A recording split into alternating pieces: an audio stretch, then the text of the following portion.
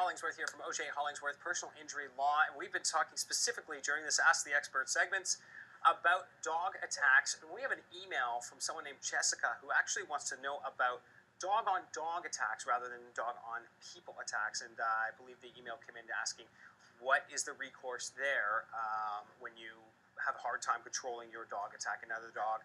Does it work like people? Yeah, it's not the exact same as people. Well, in fact, it's not even close. Like the dog owner liability and that strict liability we're talking about, that doesn't apply. Okay. The, the, what the law uh, thinks of animals is that they're property, Mm, right? okay. Like it's not like it's your child, even if in fact it's like your child. I mean, I know I love my own dog, yeah. um, but uh, you know, if another dog attacks your dog, uh, you could sue them for the vet bills. Uh, if your dog dies, you could sue for the value of the dog. Really? Yeah, so you know, you spend a thousand dollars on your dog, you could probably sue for the replacement cost.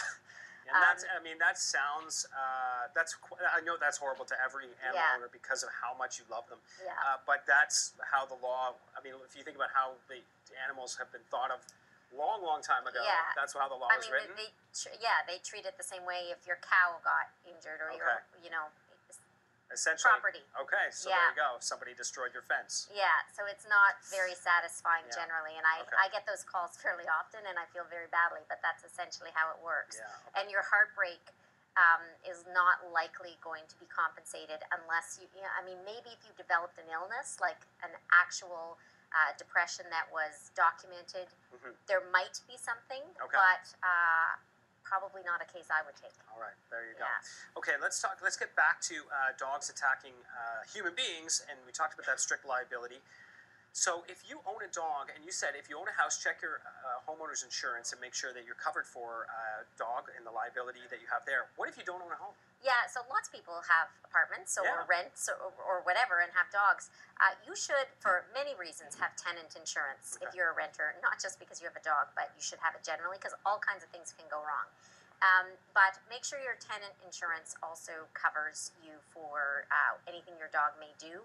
Uh, because if there is no insurance and if the injuries are very serious, the lawyer's coming after you personally, Wow, right? okay. And so uh, we can garnish your wages. There's all kinds of things that can be done to collect where somebody is is needy of compensation. Yeah. So um, you know, tenants insurance is generally not very expensive. It's a really really wise uh, investment.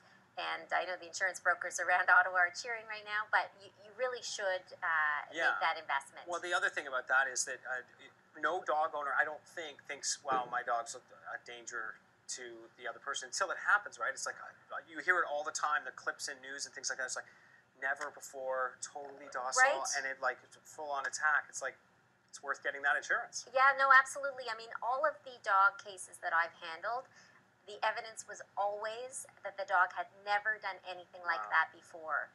You know, one time, and it doesn't have to be a bite, right? Like sometimes I had a case where a dog jumped up on a lady Oh yeah. and she got knocked over and broke her leg badly.